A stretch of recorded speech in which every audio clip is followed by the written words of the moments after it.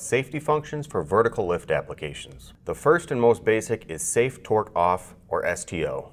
This is a two-channel 24 volt input to the drive where both channels have to be active in order for the drive to output to the motor. This is standard on all KEB drives.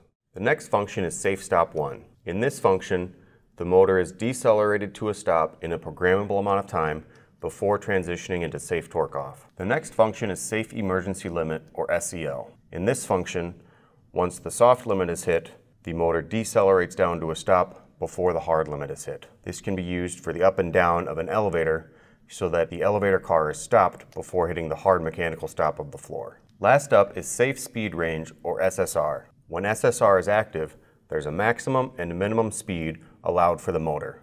If the motor goes outside of this range, you can either trigger STO or Safe Stop 1 to ensure that the motor is always traveling at a safe speed. A few more functions that may be useful would be safe direction to ensure that you're safely only traveling in the up or down direction, safe acceleration to make sure that you're not accelerating too fast or too slow, safe operating stop where the drive holds the motor at a certain position which can help to eliminate cycling the brake on and off, and finally safety over EtherCAT.